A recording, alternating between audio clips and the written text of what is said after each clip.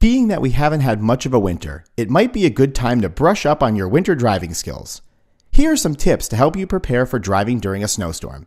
The first thing you should do is stay home if you can. If you can't stay home, let other people know what your destination is going to be and your estimated time of arrival.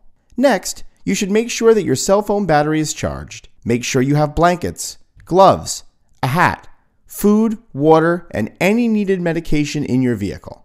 Make sure you keep your gas tank at least half full. Never use cruise control while driving on any slippery surface. Be gentle with your accelerator and your braking while driving in slippery conditions. The National Highway Traffic Safety Administration advises that you should not crowd a snowplow or travel beside the truck. Snowplows travel slowly, make wide turns, and often overlap lanes and exit the roadway frequently.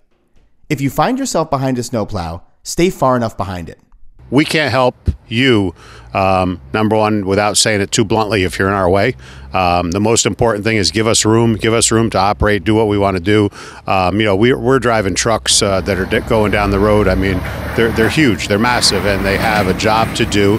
And the most important thing is give them the ability to do their job. Uh, let us get out in front of you. We're not going to travel any more than probably 35 miles an hour, so you're going to be behind us. You're going to get upset.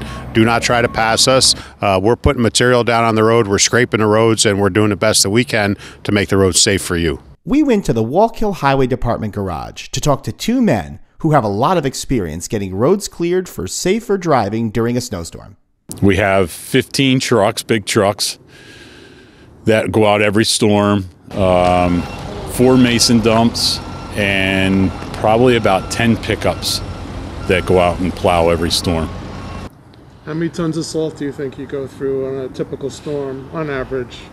A typical storm, we probably go through probably between five and 600 ton of salt.